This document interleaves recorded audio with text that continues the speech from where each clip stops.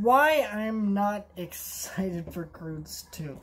First of all, this trailer was supposed to drop Monday, and I had forgotten about it. And I and the reason I forgot about it is because number one, nobody was sharing about sharing this trailer around. Nobody was talking about it. And you would think for a major animated studio release, this would be something they want to share around. But nope. Now I should state, if you're a fan of the Croods, the first film, and you're genuinely really excited for a sequel, I don't want to like crap on your parade and say, hey, screw you or anything. I'm just expressing like I don't really care about this film. Um, and I want to express some of my frustrations that I've also been having uh, going on with certain people in the industry right now pushing films out when people can't go see films. We'll talk about that towards the end of this video. Let's talk about Croods. The first Croods, I believe, came out 2016, 2014. I don't remember. And nobody really talked about it. It was kind of average. It was just kind of meh. The humor was very childish, but there were some funny moments. You know, I enjoyed it. I was a kid, and I, I really liked the Croods. I thought it was fine. I think a lot of people were disappointed because it had the producers of um, Lilo and Stitch and How to Train Your Dragon, and it just didn't turn out as good as either of those films. It was just a generic, very bland boring film that wasn't really all that special. And, you know, it it's fine. Like, it's not horrible, but yeah. And now we're getting a sequel. Now, first of all, I heard about a sequel several years ago. It got canceled. It got revived. There was a Netflix series on the show, or on this movie, and we never got that sequel. It's kind of the same thing I heard about uh, them making a sequel, Puss in Boots. You know, that kind of the same thing. Except that one, I don't really understand. That movie was hit. It was a good movie. I don't know why they didn't make a sequel. But my main thought, go, so they said they were going to put out a trailer this Monday.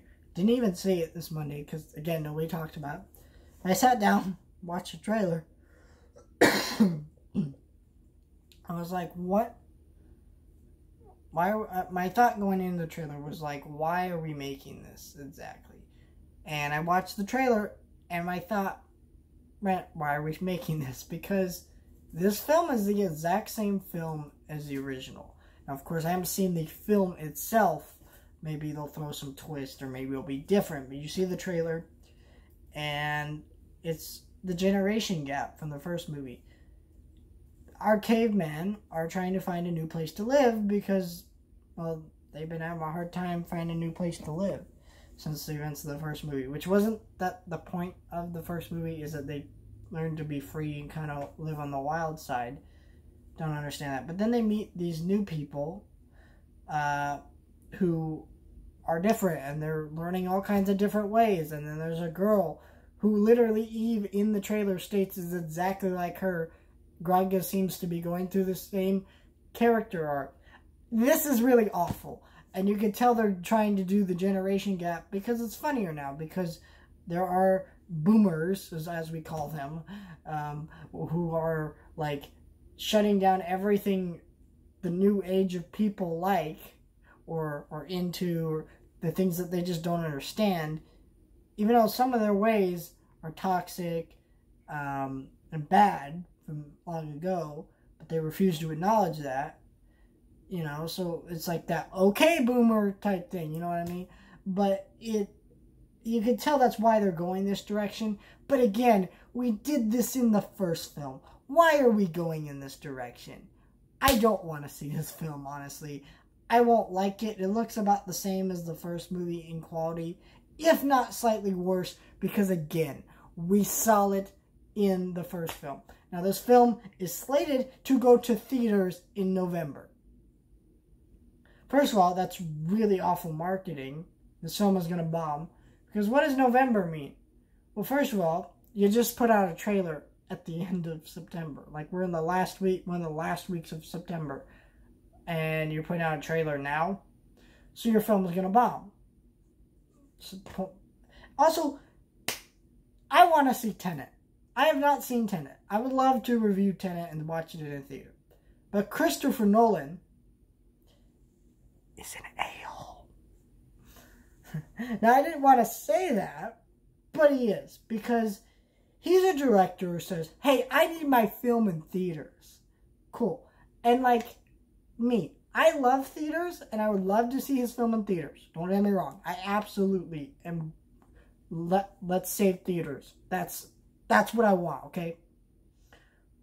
But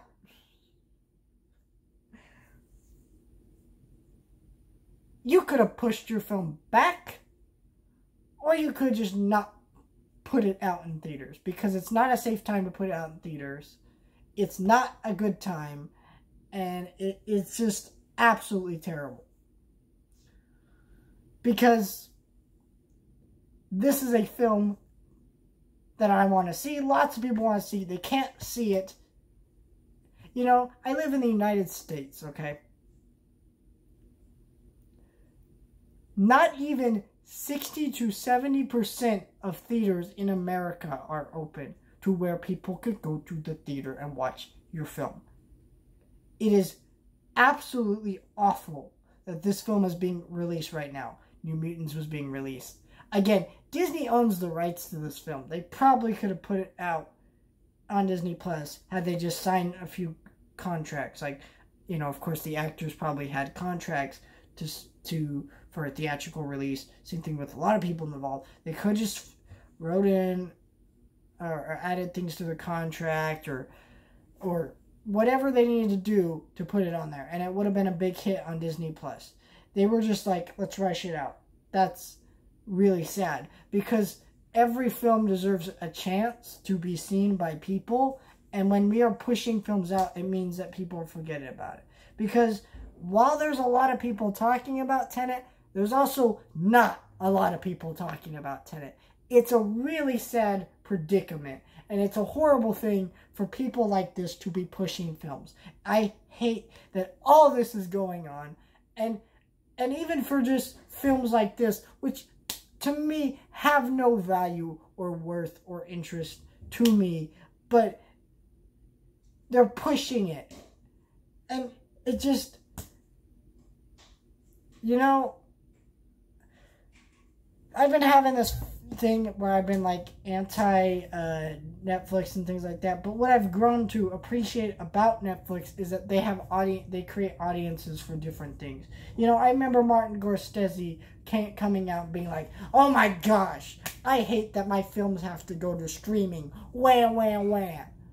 But when you realize that his films are not films that appeal to everyone, even though majority of his films are incredibly well made thought provoking, interesting films, when you realize all this, okay, you realize all this about his films, that they're not going to appeal to everyone. By them being on Netflix, they're they're a lot they're more accessible for people to watch. They're more likely to build an audience. But Martin Scorsese says, "Nay, nay, and I get it. You're an old-fashioned director. You may you were used to re releasing films in theaters, but people like this and Steven Spielberg bashing this way of releasing things is absolutely unacceptable to me because your films will be more appreciated if they release this way. And they will be more likely to be seen. And it's just insane to me that we are doing this, having this discussion. As much as I like 100 movies to just be put out on Blu-ray right now. Realistically, it's just not going to work out that way. As much as I like to go see 100 movies in theaters for the next 20 years. Things are going to change, and change is good and needs to be accepted.